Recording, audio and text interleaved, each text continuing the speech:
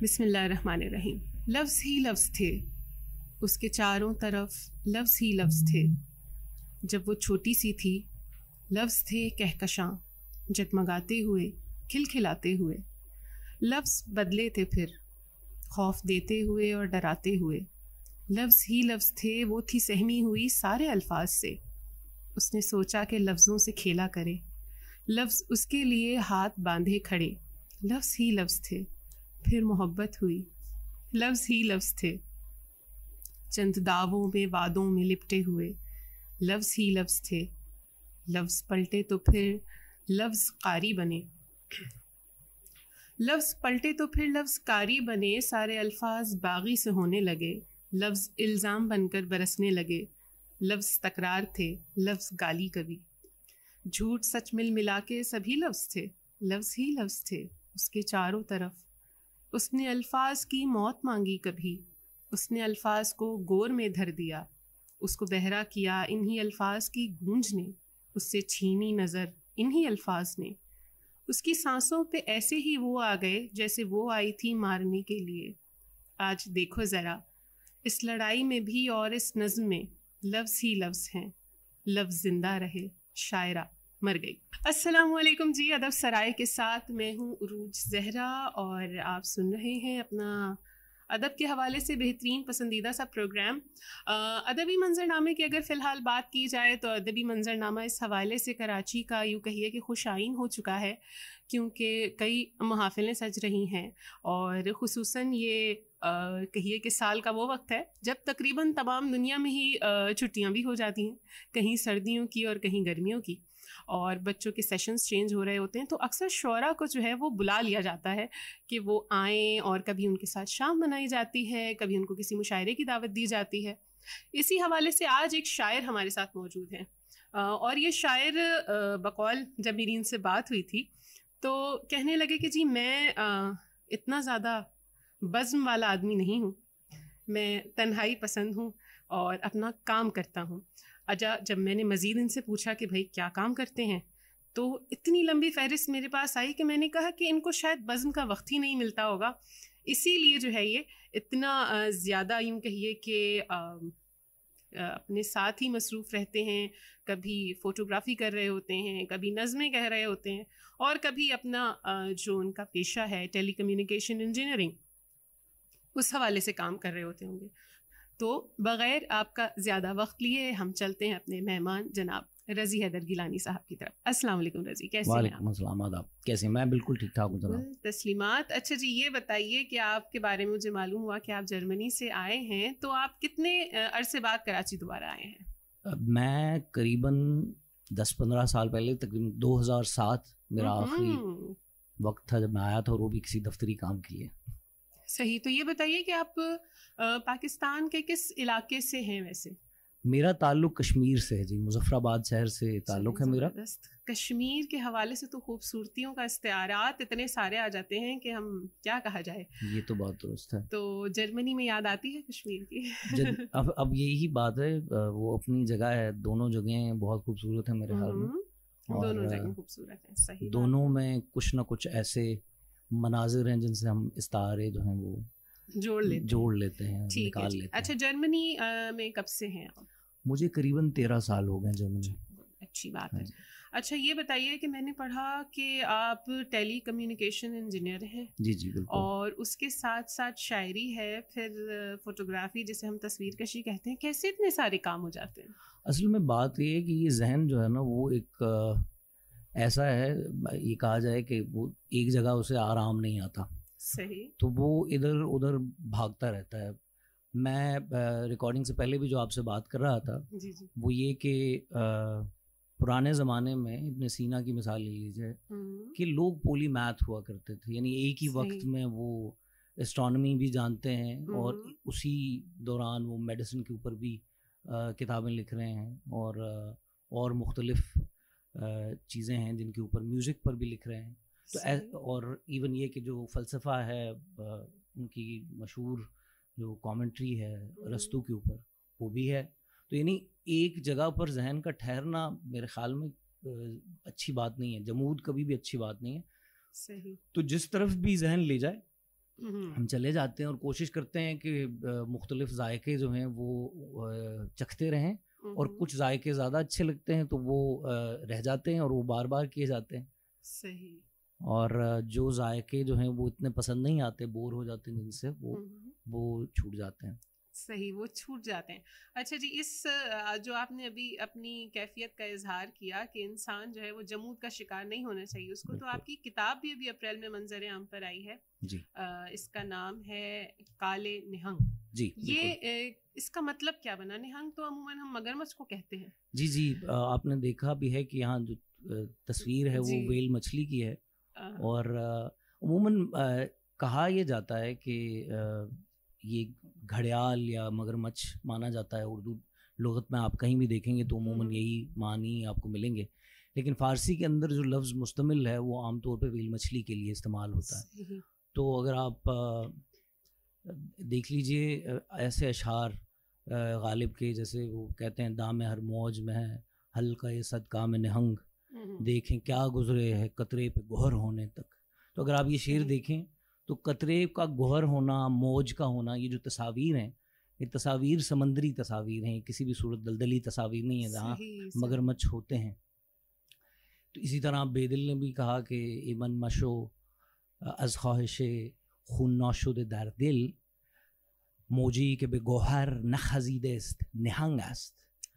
वाह, अब इस इस शेर में भी आप देखिए मौज निहंग गोहर इस तरह के अल्फाज आ रहे हैं यानी सिप्पी का होना गोहर का होना ये सारी जो हैं ये समंदरी तस्वीर हैं समंदरी तस्वीर है बिल्कुल सही अच्छा यहाँ पे मैं एक बात जरूर कहूंगी कि जिस अंदाज में आपने वो फारसी शेर पढ़ा है बेदिल का जी। भाई क्या कहने क्या कहने बहुत ये शुक्रिया। अ, बहुत अच्छा लगता है सुनकर जब कोई भी शायर या कोई भी शख्स जो होता है जब वो गुफ्तगू में बिल्कुल उसी अंदाज में ज़ुबान को बोले जैसे अहले ज़ुबान बोला करते हैं उस खूबसूरती के साथ अदायगी करे तो लुत्फ दुबाला हो जाता है। क्या कहेंगे इस बहुत बहुत शुक्रिया। बस बात यह है कि मैं ये दावा तो नहीं करूँगा कि अहले ज़बान की तरह बोलता हूँ लेकिन यह है कि बोल लेता हूँ फ़ारसी हम्म, और इसी वजह से जो है कुछ दोस्त वगैरह बने ईरानी दोस्त बने वहाँ जर्मनी में हम्म, और उनसे मैंने सीखा और फिर क्योंकि शौक़ था शायरी में बग़ैर फ़ारसी के बड़ा मुश्किल होता है अगर आप पुरानी शायरी समझना चाहते हैं तो फ़ारसी पढ़े बगैर आप उस शायरी को समझ सकें। तो इसी ख्वाहिश के साथ मैंने ये सीखी। मैं बात ये कर रहा था कि जो निहंग का लफ्ज़ है अगर हम उसको अ, उसकी एटमोलॉजी को देखें तो निहंग के मानी जो अ, फ़ारसी मियाने का लफ्ज़ है। इसके मानी होते हैं ऐसा जानवर जो नीचे खींच ले।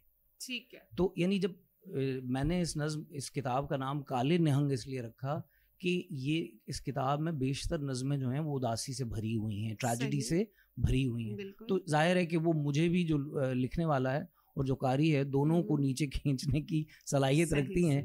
और अगरचे ख्वाहिश यही है कि सिर्फ़ नीचे ना खींचें उससे हाँ। कितारसिस का अमल भी वजूद में आए। तो ये सिलसिला है कोई ऐसी नज़म जो आपके ख्याल में इस इस किताब का चेहरा आप कह सकें कि ये इस किताब का चेहरा है ये अंदर की तमाम बाकी नज़मों की नुमाइंदा नज़म है जिसको मैं। अभी आपके सामने पेश करूँ मैं एक नज़म सुना देता हूँ अगरचे वही क्लीशे सी बात है कि जो आर्टिस्ट होता है उसकी जो हाँ, क्रिएशंस होती हैं तख्लीकात होती हैं वो सब जो है उसकी औलाद की तरह होते हैं। उसको उमूमन अगरचे बहुत से बच्चे यहाँ से किताब से डिस्कार्ड कर दिए हैं। लेकिन फिर भी जो बचे हैं वो काफ़ी अज़ीज़ हैं मुझे। तो लेकिन ये कि मैं एक नज़म पेश करता हूँ ब्लड हम्म। ब्लड कैंसर के नाम से। हम्म, अ, ये नज़म जो है वो अ, मैं अगर परफॉर्म करता हूँ कभी तो ऑनलाइन एक ऐप है जिसका नाम है क्लब हाउस और वहाँ पर परफॉर्म करने का मौका मुझे मिलता है। तो वहाँ पर बहुत पसंद की गई। तो मेरे ख्याल में ये नज़म सुनाई जाए तो अच्छा रहेगा। चलें बिल्कुल बिल्कुल। तो नज़म का नाम है जी ब्लड कैंसर। इसका एक शुरू में एक प्रोलॉग है। और प्रोलॉग के बाद नज़म है। ठीक है। तो पेश खिदमत है। ये नज़म एक मरते हुए बारह साल बच्चे की दुनिया है जिसकी रगों में कीमोथेरेपी के महलूल दौड़ रहे थे पर उसके ख्वाबों के किरदार मृदंग की थाप पर नाचते उस सिपा सालार भी था और एक खलाबाज भी। दूर उफुक पर उसकी मौत के रंग मैंने अपनी आँखों से देखे थे। ये उन जमानों की दास्तां है कि जब खिरद के कसीफ पंजों ने मेरे सुंबल परों में नाखून नहीं खुबोए थे। उन जमानों में सपने सांपों के बिल नहीं थे। अनंत नागा की झड़ती चमड़ी सपोलियों का खुदा नहीं थी। गगन का केसर गिदों का लुकमा नहीं बना था। हमारे सूरत गरों ने उल्टे अमीक गारों को सीध देते, पलीद चमगादड़ों का चेहरा नहीं तका था। अगरचे कैंसर के जर्द कीड़े रजस की लय पर थिरक रहे थे। मैं अपने दिल की लगाम थामे कुलाह खुद में से झांकता था। सो मेरी नब्जों के हिन हिनाने से जर्द कीड़ों में खौफ कायम था, पर अचानक सफ़ेद कोटों में बंद सिरिंजों ने मेरी धड़कन पे कान रखे। यू तेज दांतों से मेरे कूल्हे की हड्डियों में नकब लगाई कि शाह पोरस के मस्त हाथी ने उसकी फौजों को रोन डाला। सफ़ेद खुलियों के शाह सवारों ने शहबदुलदुल की पैरवी में सिपर उठाई। नियाम से तेख को निकाला। तो जर्द कीड़ों ने अपने नेजों पे खूनी सफ़े उठा लिए थे। मैं मर रहा हूँ, सिसक रहा हूँ। ये मेरा बिस्तर जहाँ मैं बेसुध पड़ा हुआ हूँ, मेरी चिता है। सो मेरे हाथों में, मेरे बालों के जलते गुच्छे हैं। मेरे ढांचे के रक्स आखिर को देख लें ये स्याह कपड़ों में कौन बुढ़िया हैं। क्या बड़बड़ा रही हैं, इन्हें उठाओ, खजूर की गुठलियाँ हटाओ। ये खूनी थैले में किसका खून है? लहू के कतरों का विरद रोको। ये विरदांतों को काट खाते हैं और मसानों को चाप जाते हैं। ये रक्स आखिर आखिरी नहीं है। मैं एक ज्वाला मुखी का किस्सा हूँ। मैं इन फिजारे अजीम की ताकतों में जर्रा हूँ। मैं मिल्की वे की सफ़ेद राहों में जर्द सूरज के आशियाने में रहने वाला वो जल रहा हूँ, जला नहीं हूँ। मैं मर हूँ मरा नहीं हूँ। क्या कहने क्या कहने रज़ी साहब? एक तो नज्म कैफियत से बिल्कुल भरपूर एक ऐसा शख्स कभी भी जिसने कभी अपने किसी दोस्त के हवाले से फ़िलहाल हम देख रहे हैं कि नौजवानों में काफ़ी इस तरह के केसेस आ रहे हैं। और अपने जानने वालों से भी हम इन कैफियत को सुनते हैं। बाज़ अदाकार जो इस मोजी मर्ज से लड़ रहे हैं उन्होंने भी कीमो के बाद अपनी कैफियत बताई। तो वो एकदम उनके इंटरव्यूज़ भी और ये नज़म भी और बिलखसूस आपका जो अंदाज़ है वो बड़ा अच्छा है बड़ा खूबसूरत है कि आप एक ये होता है अमूमन शुरा के हवाले से कि वो कारी की सतह पर आ जाता है हम्म। एक शायर या कहने वाला वो होता है जो कारी को उठाकर अपनी सतह पर लेकर जाता है। और मैं इस हवाले से आपको ज़रूर मुबारकबाद दूँगी कि आपका जो अंदाज है वो कारी को उठाकर अपने मैार पे ले आता है। बजाय ये कि वो उसके मैार तक अपने आप को पहुँचा और ये बहुत बड़ी कामयाबी है। इसके साथ ही आ, मुझे एक सवाल इस नज़म के साथ ही जहन में आया कि इस जिसकी मैंने अंदाज की तारीफ़ की उसी अंदाज को आपने क्यों अपनाया? शुरू से ऐसे ही पढ़ते थे? या ये कि किसी से इंस्पायर होके किसी से देख के फिर आपने कहा कि नहीं इस तरीके से होना चाहिए? या किसी प्रोग्राम के हवाले से कोई हिदायत मिली तो आपने कहा नहीं ये तो अच्छा लग रहा है। तो क्या इसके पीछे असल में बात ये है ये किस्सा ज़रा पुराना है। अगर से ताल्लुक़ हमारा सुन्नी मसलक से है लेकिन यह है कि हमारे वालिद जो हैं वो हमें लेके जाया करते थे इमाम बारगाहों में और वहाँ पे हम मीर अनीस के दबीर के मरसिए सुनते थे। और जब वो पढ़ वो ऐसे नहीं पढ़े जाते तहत में वो पूरे ड्रामाई अंदाज के साथ पढ़े जाते हैं। और मैं बचपन से वो देख रहा हूँ वो ड्रामाई अंदाज। और वो ड्रामाई अंदाज जो है मुझे अट्रैक्ट करता है। सही, एक सही, मेरे लिए जजाबियत पैदा करता है। तो वो आ, मसला नज़म का हमेशा यही रहा है कि नज़म जो है वो पढ़ने की हद तक मानी जाती है और वो यही कहा जाता है कि वो पढ़ी जाए वो जो है वो परफॉर्म करने की चीज़ नहीं है। सही। तो अगरचे मैं इस बात से काफ़ी हद तक इत्तेफाक रखता हूँ लेकिन उस के बावजूद जब आप उस चीज़ को पढ़ते हैं एक ड्रामाई अंदाज में तो मुमकिन है कि इसमें ऐसे अल्फाज होंगे जो आपको समझ में ना आए हों। लेकिन जो अंदाज है वो आपको उस माहौल में ले जाए जहाँ जहाँ जिस माहौल को बनाने की कोशिश की गई है।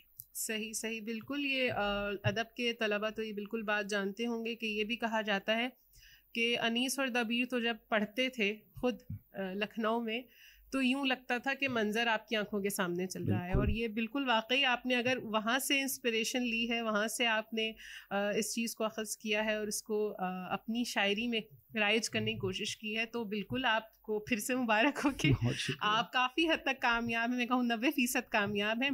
बाकी दस फ़ीसद नाकाम होना उसमें भी आपका कसूर नहीं है। उसमें हम लोगों के कुछ अल्फाज से नामानूसियत ज़ाहिर है कार फरमा है कि बावजूद ये कि आप उस माहौल में चले जाते हैं लेकिन हाँ। कुछ चीज़ें आपको आप ये देखिए कि अनीस के यहाँ भी आपको ऐसे अल्फाज मिलेंगे जो मुश्किल हैं बिल्कुल, ज़ाहिर है। तो ज़ाहिर है नज़में और अच्छी शायरी में गज़लें भी ये आपसे डिमांड करती हैं कि आप उन्हें बार बार पढ़ें और उनके अंदर जो पढ़ते हैं मानी आफरीनी की उनको समझने की कोशिश करें। बिल्कुल तो अच्छा जी। अ, शायरी के हवाले से आपने गज़ल भी कही है पाबंद और आज़ाद नज़में भी कही हैं और रुबाई पहेली में भी जी, मुझे मालूम हुआ कि आपने कोशिश की है। तो ये जो आपकी किताब है इसमें पाबंद और आज़ाद नज़में हैं और नसरी नज़में हैं। तो बाकी चीज़ें क्यों नहीं इसमें शामिल की? असल में देखिए बात यह है कि किताब की कैटेगरी होनी चाहिए मेरे ख्याल। में। अ, वो जब एक ख़ास सिन्फ का काम एक हद तक पहुँच जाए तो बेहतर है कि वो फिर शामिल किया जाए यानी पहेलियाँ मौजूद हैं।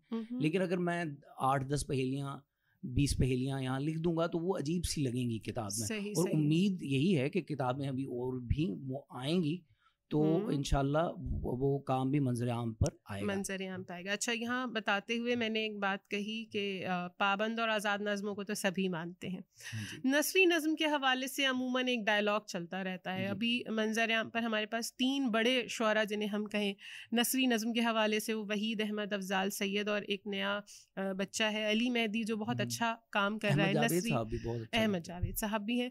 मतलब ये चंद गिने चुने लोग हैं जो हम्म। नसरी नज़म पे काम कर रहे हैं और उसका दिफा कर रहे हैं ख़वातीन में सिदरा सहर इमरान हम्म। साहिबा जो है वो बहुत अच्छी उनकी किताब भी आ चुकी है नसरी नज़म पे हम्म। अच्छा इब्तदा में जो अदबी हल्के थे उनका ये कहना था कि जी नसरी नज़म क्या है या तो नज़म है। या नसर है ये क्या बात हुई तो वो नसरी नज़म को मानते नहीं थे अब चूँकि इतने बड़े बड़े शुरा। नसरी नज़म की हिमायत में तो काफ़ी शुरा उनकी ये कहिए कि तकलीद में या उनके कहने के ऊपर नसरी नज़म को मानने लगे हैं। तो कुछ ऐसे शुरा भी थे जो नहीं मानते थे और अब मानने लगे हैं। कि तो इस हवाले से आप क्या कहेंगे? आप इस कैटेगरी में से थे? जो नहीं मानते थे फिर मानने लगे। या शुरू से आपने कहा कि नहीं नसरी नज़म अपनी हैसियत रखती है और ये अभी लोगों को नहीं मालूम लेकिन आगे जाके मालूम हो जाएगा। जैसे मिर्ज़ा गालिब कहते थे कि भाई मुझे अभी समझने वाले नहीं है। मुझे सौ साल बाद। समझा जाएगा और मुझ पर किताबें लिखी इस मुझे जो बात याद आ रही है वो अ, शमसुर रहमान फारूकी साहब की है कि वो एक मुकायसा करते हैं एक बाज़ौक इंसान का और एक सुखन फहम इंसान का।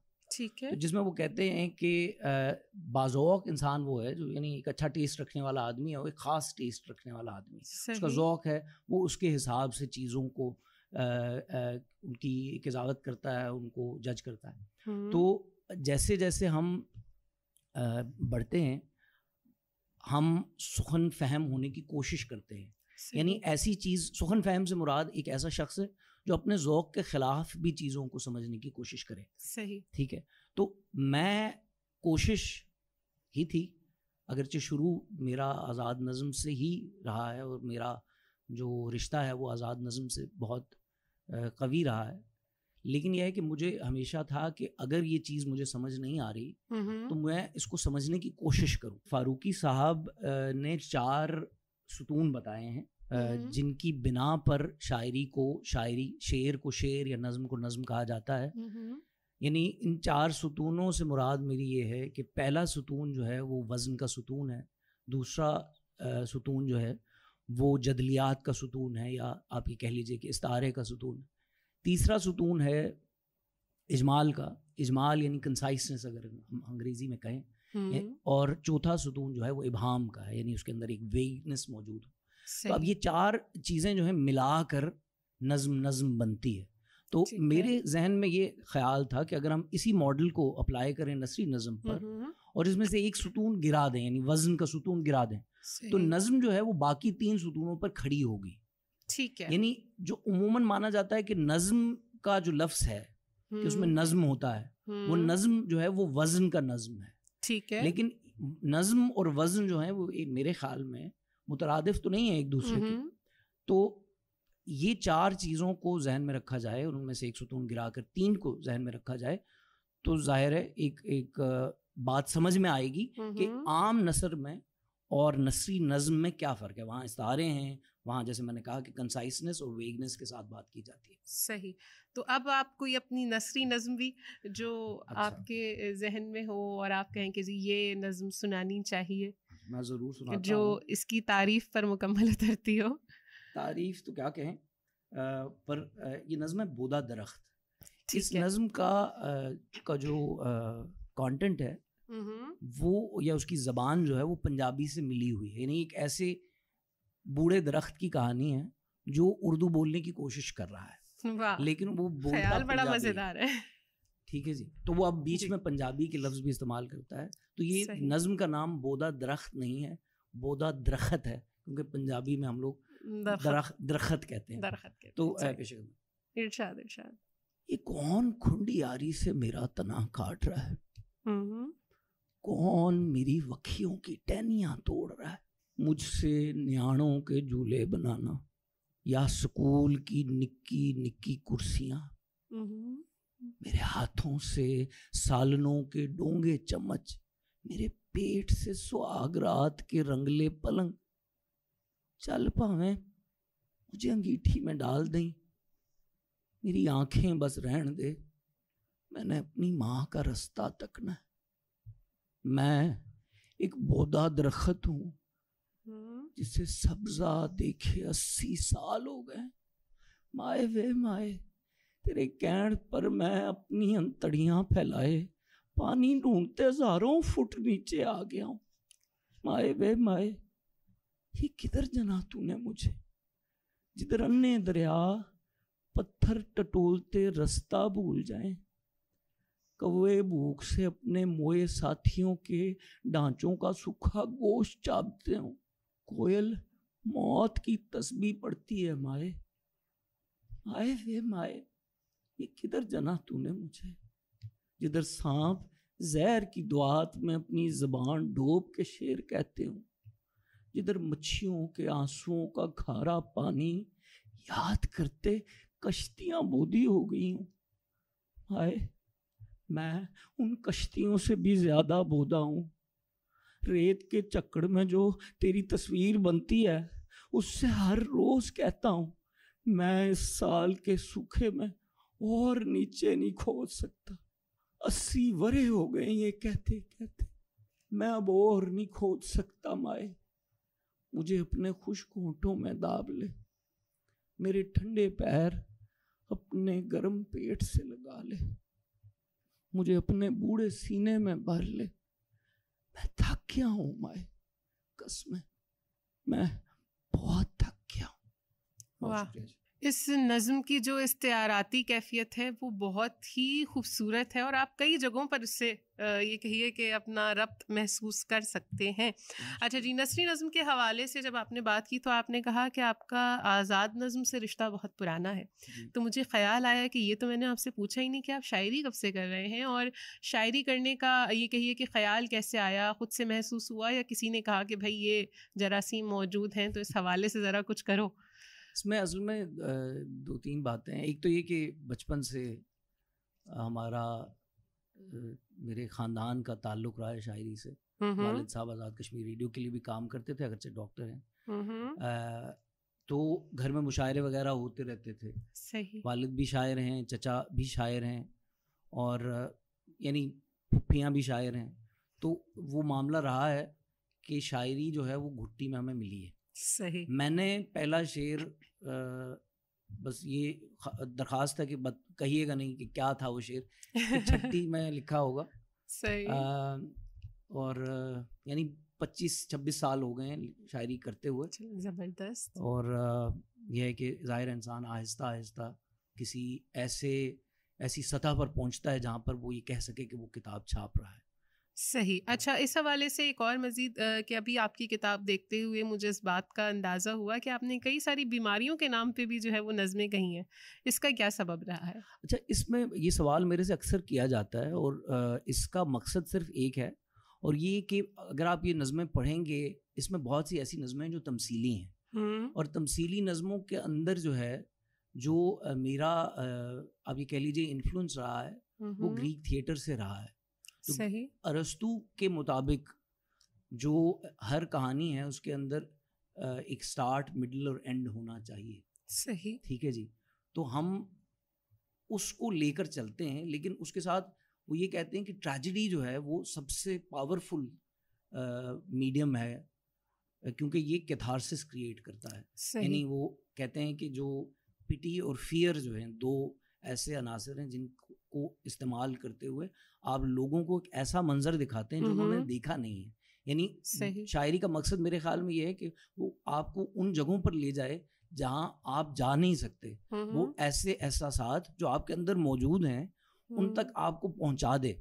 तो ये बीमारियाँ जो है क्योंकि बीमारी जो है देखा जाए तो एक ट्रेजिडी ही है और उन ट्रेजिडीज के ज़रिए आप वही किताब से जनरेट करने की कोशिश करते हैं या एटलीस्ट मैं ये कहूँ कि मैंने कोशिश की है हम्म, कि ये ऐसा दावा तो नहीं कि कितासिस जनरेट होगा या नहीं लेकिन हम्म। बहरहाल कोशिश है अच्छा रज़ी साहब बात कुछ यूँ है कि जब ज़ाहिर इतने वक्त से शायरी कर रहे हैं और अनीस दबीर के हवाले से भी आपने कहा कि मैंने उनसे आहंग सीखा कहने हम्म। का तो अ, कोई दौर हाजिर का कोई पसंदीदा शायर या कोई ऐसा शायर जिसको आप कहते हैं भाई ये जो है वो मेरा पसंदीदा शायर है अच्छा ये बड़ा मुश्किल सवाल आपने कर दिया है कि मेरा पसंदीदा शायर दौर हाजिर का। क्योंकि अच्छा अकबर अली नातिक साहब को मैंने पढ़ा है वो मुझे काफ़ी अच्छे लगते हैं। सही। क्योंकि नज़म के शायर हैं और बहुत हम्म। अच्छी नज़म लिखते हैं। अ, वो कहा जा सकता है उनको हम्म, कि मैं मैंने उनको काफ़ी पढ़ा है और मुझे उनका अंदाज पसंद है कहने का। इसके अलावा जाहिद इमरोज़ हैं जो नसरी हम्म। नज़म लिखते हैं ज़्यादा वो भी बड़े अच्छे शायर हैं। उनका नाम लिया जा सकता है। आतिफ तोकीर हैं वो भी बहुत अच्छा लिखते हैं। चले अच्छी बात है। अच्छा एक और बात ज़ाहिर है इसी हवाले से आपने एक नसरी नज़म के शायर का नाम लिया। अमूमन ये मुगालता है मेरा ख्याल है। मुझे तो ज़ाती हैसियत से यही लगता है। लेकिन अमूमन ये कहा जाता है कि जी नसरी नज़म वो लोग कहते हैं जिन्हें औजान नहीं आते। हम्म। तो इस हवाले से आप क्या कहेंगे? अच्छा ये हो सकता है कि ऐसा भी हो हम्म, क्योंकि कुछ ऐसी जो जो अरूज का जो इल्म है हम्म, उसको जिन कुतब के ज़रिए सीखा जाता है वो काफ़ी जो है वो उसके अंदर फ़ारसी और अरबी के अल्फाज होते हैं। तो क्योंकि जो हमारा अनफॉर्चुनेटली मकौले का जो एजुकेशन सिस्टम है हम्म, वो आते आते इस लेवल पर आ गया है सतह पर आ गया है कि उस सतह पर वो जो हमारा नॉलेज था वो मौजूद नहीं है। तो शायद लोगों को मुश्किल होती है। लेकिन ये कहना कि उनको आती नहीं है, वो इसलिए कहते हैं। असल में हर सिंफ की ना कुछ ऐसी पॉसिबिलिटीज़ उसके अंदर मौजूद होती हैं जो सिर्फ़ उसी सिन्फ में पूरी हो सकती है। यानी बोदा दरख्त आज़ाद नज़म के तौर पर नहीं कही जा सकती। जबकि ब्लड कैंसर जो है वो आज़ाद नज़म जो है उसके ज़रिए कही जाती है। होता ये कि वज़न जो है आपको एक राह पर ले जाता है। आप उसी के हिसाब से चलते रहते हैं। तो अ, ऐसे शायर मौजूद हैं। आपके पास दो बड़ी मिसालें जिनके नाम आपने भी लिए। सैयद अफजाल साहब का और मैंने जो नाम लिया अहमद जावेद साहब का। ये लोग तो इस हैं। ठीक है। तो इन इन असाजा की नज़मों से हम सीख सकते हैं क्योंकि देखिए। बात यह है कि नसरी नज़म हो या आज़ाद नज़म हो क्लासिकी निज़ाम जो है जो हमारी शरीयत का निज़ाम है उसको समझे बगैर आप उर्दू शायरी नहीं कर सकते उर्दू शायरी तो मेरी गुजारिश ऐसे तमाम शहरा से होगी जो आज इस बात पर मुसर हैं कि वो एक ओरिजिनलिटी की तरफ़ जाएँ ओरिजिनलिटी की तरफ़ जाएँ अपनी बात कहें। हम्म, लेकिन वो वो जो हाथ है क्लासिकी निज़ाम का उसको थामे रखें। अगर वो थामे रखेंगे तो आपकी जिसको अंग्रेज़ी में कहते हैं पोइटिक असेंट या हम्म, जिस पे हमें वाह मिलती है वो पोइटिक असेंट जो है हम्म, वो नहीं मिलेगा आपको क्योंकि आपका माशरा जो है आपका। जो अ, शेरी जहन है वो एक ख़ास तरीके से उसकी तरबियत हुई है साल हा साल सदियों से। सही सही।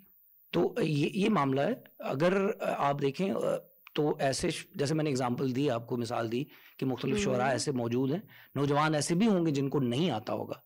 तो उनके लिए मेरी मेरी पास जो सजेशन है वो ये कि फ्रांसिस प्रचैट साहिबा का की एक किताब है जो ऑनलाइन अवेलेबल है। जो फारूकी साहब की मदद से उन्होंने बनाई थी और उसके अंदर बहूर का निज़ाम जो है वो अंग्रेज़ी में समझाया गया है।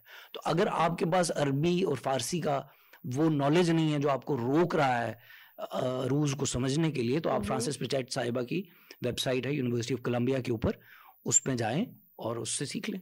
ज़बरदस्त। अच्छा एक सवाल और भी मेरे जहन में आ रहा था कि टेली कम्युनिकेशन इंजीनियरिंग एक बाकायदा तौर से जो है वो कहिए कि बिल्कुल ही टेक्निकल फ़ील्ड है वन प्लस टू वाला मामला जिसे आप कहते हैं। दूसरी तरफ़ आपको मुसवरी पसंद है। हम्म। यानी आप तस्वीर कशी जैसे कह लीजिए आप कैनवस तो पेंट नहीं करते मगर ये बहरहाल कि तस्वीर बनाना भी एक आर्ट होता है। फिर शायरी है तो कहाँ एक तरफ़ तो ये नंबर गेम जिसे हम खुश्क तरीन चीज़ कहते हैं हम्म। कहाँ दूसरी तरफ़ ये जमालियात का पहलू कैसे इन चीज़ों को मैनेज करते हैं कैसे इनमें एतदाल रखा जाता है या क्या आपका लाहा अमल होता है इस हवाले से असल में मेरा ख्याल ये है कि इन सारों में जो सब सब में जो चीज़ कॉमन है और मुझे खींचती है उनकी तरफ़ हम्म। वो क्रिएटिविटी है सही ये क्रिएटिविटी जो है वो आपको नंबर्स में भी मिल सकती है और यही क्रिएटिविटी जो है आपको बाकी चीज़ों में भी मिल सकती है। चाहे वो तस्वीर खींचना हो। अभी मैंने आपको बताया नहीं कि मैं थोड़ा बहुत गिटार भी बजाता हूँ। तो अ, अ, तस्वीरें भी खींचता हूँ। यानी वो सारे अनासर जो आप अ, करते हैं अभी हम रेडियो पे बात कर रहे हैं तो मैं पॉडकास्टिंग भी करता हूँ रिकॉर्डिंग करता हूँ ऑडियो वगैरह से। तो यानी काम मुख्तलिफ़ हैं क्रिएटिविटी है और सीखने का एक अमल है। जो सीखना है वो मुझे बहुत पसंद है। और जैसे मैंने पहले भी अर्ज़ की कि मेरे ख्याल में ऐसे जहन जो हम्म। पोली मैथ होते हैं वही जहन जो हैं वो इस दुनिया में हमारी कौम को अगर आगे बढ़ा सकते हैं तो हमें हम्म, पोली मैथ जहन चाहिए। हमें एक लाइन में लगे हुए लोग नहीं चाहिए। ज़बरदस्त ज़बरदस्त ज़बरदस्त। ये बहुत ही एक अच्छा मैसेज भी हम कह सकते हैं और ये ख्याल भी रज़ी हैदर साहब का कह सकते हैं कि सबसे बेहतरीन चीज़ ये है कि आप का जहन जो है वो जरखेज़ रहे, वो जमूद का शिकार ना हो और उसे जरखेज़ रखने के लिए आप कई मुख्तलिफ़ जिहात में काम कीजिए ताकि अगर कभी एक से दिल उब जाए तो दूसरा हो, दूसरे से तीसरा हो और फिर पलट कर पहला आ जाए और आप कभी यूँ कहिए कि जैसे हमारे बड़े बुज़ुर्ग कहा करते थे कि खाली जहन जो है वो शैतान का घर होता है। तो शैतान का घर ना बने, आप जो है वो किसी न किसी तख्लीकी अमल में मसरूफ रहें।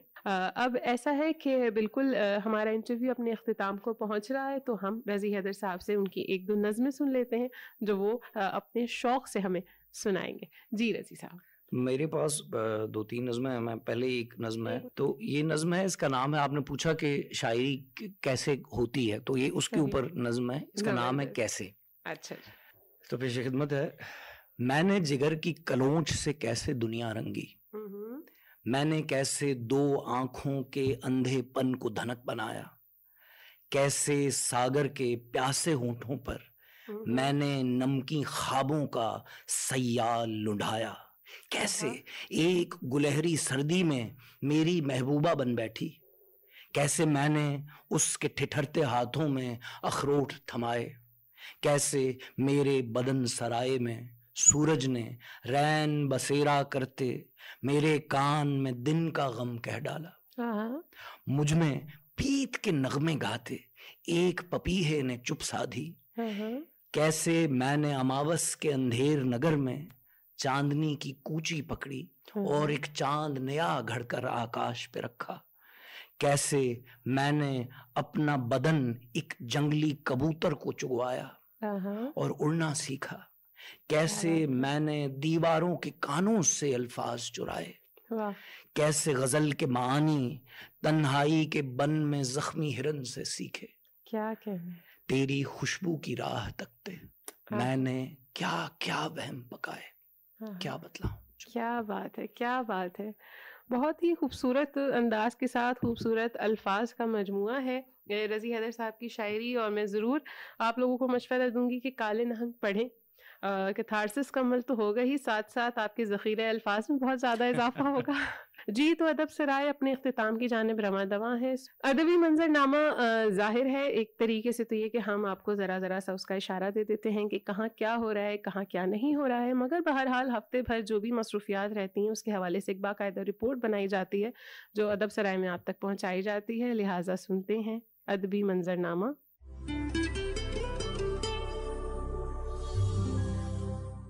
अदबी प्रोग्राम अदब सराय के मंजरनामे में आपको राशिद नूर खुश आमदीद कहता है, कराची की अदबी सरगर्मियों के साथ मैं आपकी खिदमत में हाजिर हूँ।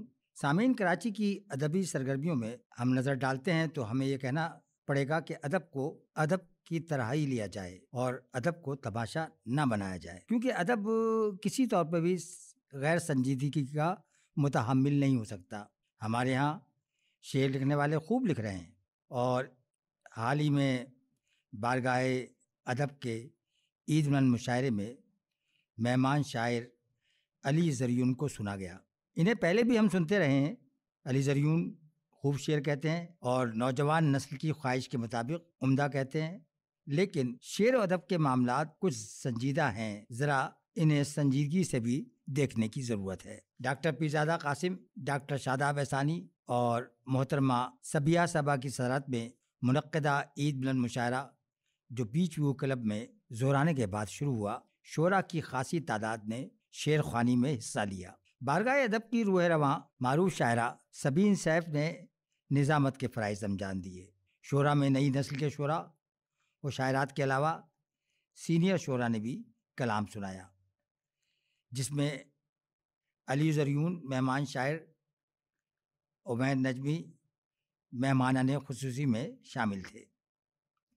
अलावाजी शोरा में अख्तर सईदी, निसार अहमद निसार, रिजवाना सईद रोज़, आफ्ताब आलम कुरैशी, नाजिया गौस, ताजवर शकील, यासर सईद सिद्दीकी, हिदायत सायर, सादिया सिराज, रेहाना एहसान, मंसूर साहिर और दूसरे कई कई शुरा और शायरात ने अपना कलाम सुनाया।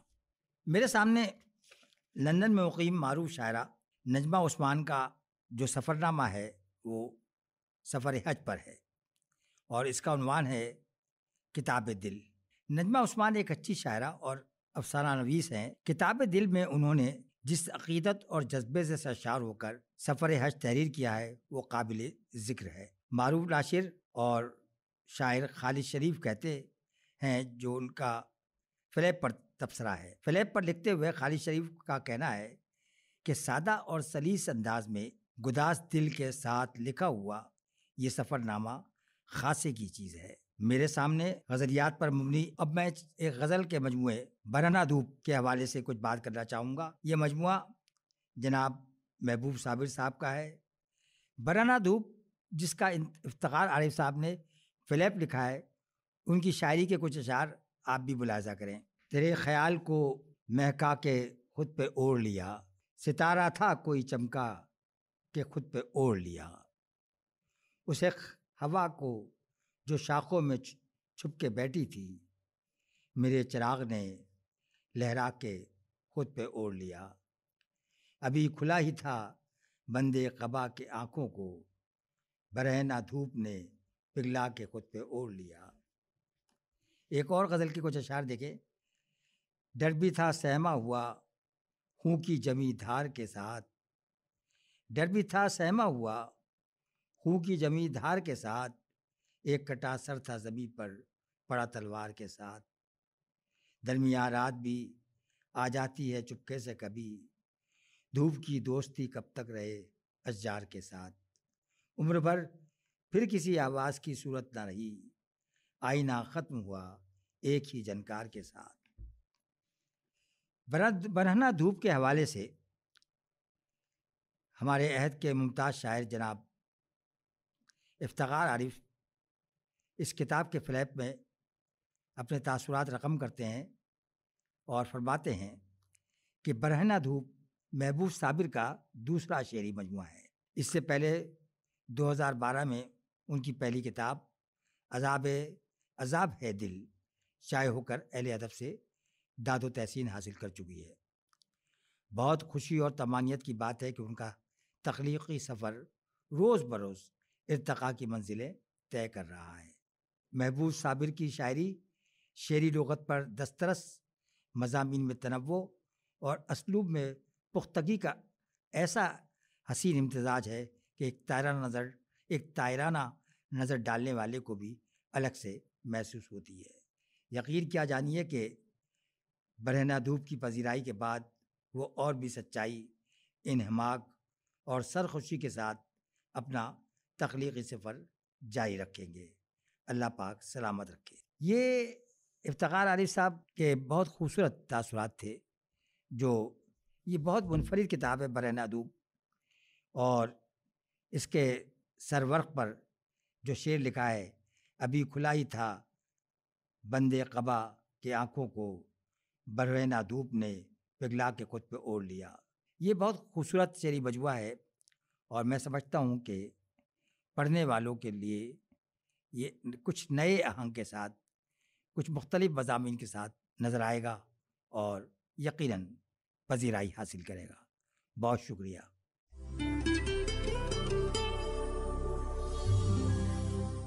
अच्छा जी तो बस इसके साथ ही मैं आपसे कहूँगी कि एक नज़म सुना दीजिए और हम फिर इजाज़त चाहेंगे। मैं आपको एक नज़म सुनाता हूँ। इस नज़म का नाम है दम आ नहीं रहा। ठीक है। ये एक आज़ाद नज़म है तो पेश खिदमत है। दम आ नहीं रहा। नफस नफस घुटन कदम कदम थकन जले हुए परास माँ से गिर रहे हैं। दम आ नहीं रहा। नफस नफस घुटन कदम कदम थकन जले हुए पर आसमां से गिर रहे हैं। कबाब हो गए हैं क्या?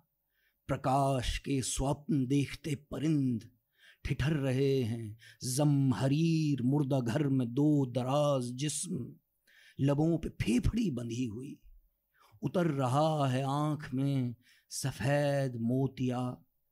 दिलों के सग गली में भोंकते हैं, ढूंढते हैं दामन आशना मुसाफिरों के। सूंघते हैं प्रीत की माक थकन से बैठते हैं हार कर। कुरेदती है ख्वाब की चुड़ेल, कब्र से निकालती है दाग दाग धड़। खरोचती है रात भर, कबूत जिल्द, ये खलफिशार जिस्म के उजाड़ मरगजार में किसी परिंद की पुकार। दरख्त ढह चुके, सभी पशु पखेरु जा चुके। यह आखिरी परिंदा कौन है? हुमा, या मैं? ये कौन हड्डियाँ चबा रहा है? दिल का मांस खा रहा है। सीना रेगजार गमों के अंधकार में अटे नगर। ये दिल हैं या हैं रेत में धंसे हुए खंडर। बहुत शुक्रिया। रज़ी हैदर गिलानी साहब को आप सुन रहे थे और उम्मीद करती हूँ कि आपको आज की गुफ्तु बहुत पसंद आई होगी। जी तो प्रोग्राम का वक्त अपने अख्ताम को पहुँचा। अपनी मेज़बान उरू जहरा को इजाज़त दीजिए। इस हिदायत के साथ कि अपना बहुत सारा ख्याल रखेंगे इन अगले हफ़्ते फिर मुलाकात होगी। इसी रोज़, इसी वक्त। तब तक के लिए अल्लाह हाफिज़। पाकिस्तान, जिंदाबाद।